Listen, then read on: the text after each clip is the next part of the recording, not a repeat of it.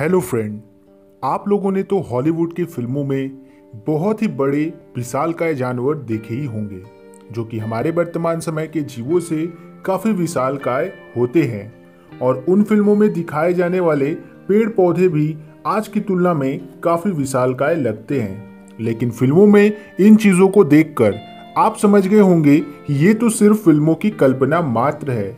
असलियत में ऐसे कोई भी जीव या पेड़ पौधों का अस्तित्व अब तक है ही नहीं। लेकिन अगर मैं आपसे कहूँ कि ये जीव कोई कल्पना मात्र नहीं है, बल्कि आज से हज़ारों साल पहले ये दैत्यकार और विशालकाय जीव ही हमारी धरती पर राज किया करते थे, आज से लगभग 300 मिलियन वर्ष पहले धरती पर आज के 21 परसेंट ऑक्सीजन की तुलना में ये 30 परसेंट हुआ करती थी, जिसकी वजह से उस समय के जीव और पेड़ पौधे आज की तुलना में काफ़ी विशालकाय और भयानक हुआ करते थे।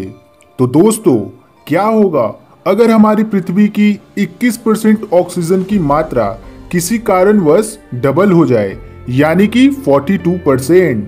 तो इसका हमारे शरीर और इस धरती पर रह रहे जीव जंतुओं और पेड़ पौधों पर क्या असर होगा? तो हेलो फ्रेंड, मैं हूँ रोहित, आपका दोस्त और इस चैनल का होस्ट। तो चलिए, वीडियो को हम शुरू करते हैं। लेकिन उससे पहले, अगर आपने मेरे चैनल को अभी तक सब्सक्राइब नहीं किया है तो प्लीज़ चैनल को जल्दी जल्दी सब्सक्राइब कीजिए और बेल आइकन को भी ऑल पे सेट कर दीजिए, ताकि मेरी वीडियोस को सबसे पहले आप अपने मोबाइल पे देख पाए। तो हमारे वायुमंडल में 18 परसेंट नाइट्रोजन 21 परसेंट ऑक्सीजन और 1 परसेंट अन्य गैसों से मिलकर हमारा ये एटमोस्फियर बना है। पर इन सभी गैसों में ऑक्सीजन सबसे महत्वपूर्ण है, क्योंकि इसी की वजह से हमारी धरती पर जीवन संभव है। और अगर हमारी धरती से ऑक्सीजन केवल पाँच सेकेंड के लिए हट जाए तो इस धरती पर जीवन का नामो निशान मिट जाएगा। हमारी धरती पर बने गगनचुम्बी इमारतें कुछ मिनटों में ही ढेर हो जाएगी, क्योंकि ऑक्सीजन की कमी के कारण कंक्रीट का बाइंडिंग नेचर खत्म हो जाएगा। धरती पर आग जलाना नामुमकिन हो जाएगा, लेकिन अगर यही ऑक्सीजन की मात्रा 21 परसेंट से बढ़कर 42 परसेंट हो जाए तो हमारी पृथ्वी पर कुछ बड़े ही रोचक बदलाव होंगे, जिनका प्रभाव हमारे शरीर और धरती पर रह रहे जीव जंतुओं पर भी होगा। जहाँ इस धरती पर रह रहे छोटे बड़े कीड़े जैसे कि कॉकरोच या फिर मक्खियाँ, इनका साइज़ दो से तीन गुना बड़ा हो जाएगा। मतलब एक चूहा खरगोश के साइज़ का हो जाएगा और खरगोश किसी कुत्ते का साइज़ का हो जाएगा और ये क्रम इसी तरह से चलता रहेगा। वर्तमान समय के पेड़ पौधे किसी गगनचुंबी इमारतों जैसे हो जाएँगे। बात करें अगर हमारे शरीर की तो हमारे शरीर में रोग प्रतिरोधक क्षमता बढ़ जाएगी, जिससे हम बड़े बड़े रोगों को आसानी से हरा पाएँगे। हमारा शरीर का कद दो से तीन गुना बड़ा हो जाएगा और हम किसी फ़िल्म के सुपर हीरो की तरह हो जाएँगे। हम घंटों तक बिना थके, बिना रुके किसी भी कार्य को कर पाने में सक्षम होंगे और हमारे शरीर की ऊर्जा काफ़ी ज़्यादा बढ़ जाएगी। दरअसल, हमारे शरीर की ऊर्जा का 90 परसेंट भाग ऑक्सीजन से ही आता है और बाकी का हमारे भोजन और पानी से हमें मिलता है। तो ऑक्सीजन की मात्रा बढ़ने पर हमारा दिमाग भी वर्तमान समय से काफ़ी तेज काम करेगा। और हम बड़े से बड़े निर्णय बहुत ही आसानी से ले पाएँगे। इन शॉर्ट हम एक सुपर ह्यूमन बन जाएँगे।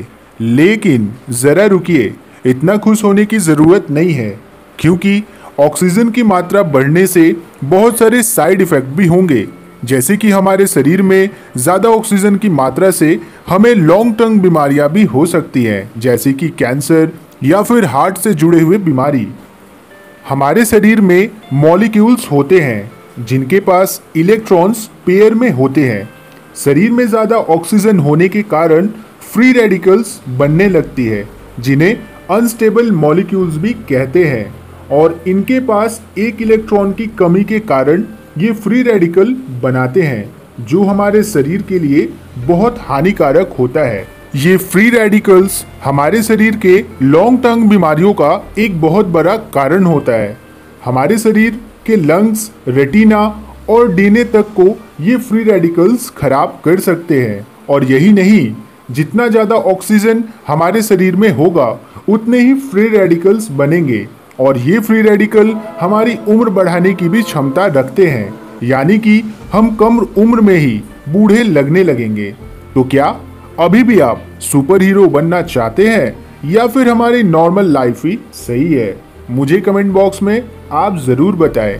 ज़्यादा ऑक्सीजन होने के कारण हमारी इन्वायरमेंट में भी काफ़ी बदलाव होंगे। ज़्यादा ऑक्सीजन होने के चलते सूर्य की गर्मी और भी ज़्यादा बढ़ जाएगी, जिससे हमारे पेड़ पौधे झुलसने लगेंगे और ऑक्सीजन की मात्रा हमारे इन्वायरमेंट में अधिक होने के कारण आपको आए दिन कहीं ना कहीं आग लगने की भी न्यूज़ मिलती रहेगी। ऑक्सीजन के चलते ही धरती पर आग जलाना मुमकिन है। तो वही इसकी बड़ी मात्रा आग को बुझाने में काफ़ी तकलीफ़ देह होगी। इसके अलावा भी छोटी बड़ी और भी तकलीफें हमें देखने को मिलेगी। तो इन शॉर्ट अगर हम सोचे तो ऑक्सीजन की मात्रा बढ़ने से हमारी पृथ्वी पर फ़ायदा से ज़्यादा हमें नुकसान ही होगा। ये हमारे शरीर को ज़्यादा हिस्ट पुष्ट और ज़्यादा एक्टिव ज़रूर बनाएगा।